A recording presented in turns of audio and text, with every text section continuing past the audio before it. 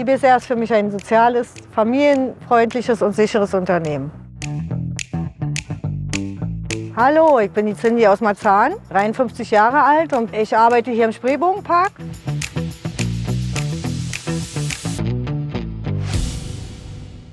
Also ich fange um halb sechs an, nehme mir das Auto und fahren eben die ganzen Flächen ab. Dann äh, fangen wir mit einer Seite an, die Körbe zu machen. Sammeln den Müll auf, der noch so rumliegt vom Vortag. So die Kaffeebecher to go, Hundekot-Tüten, die Verpackung vom Essen. Dann machen wir das Grün unter den Bänken und eben die Flächen, die wir zu bearbeiten haben, dass eben das Unkraut beseitigt wird.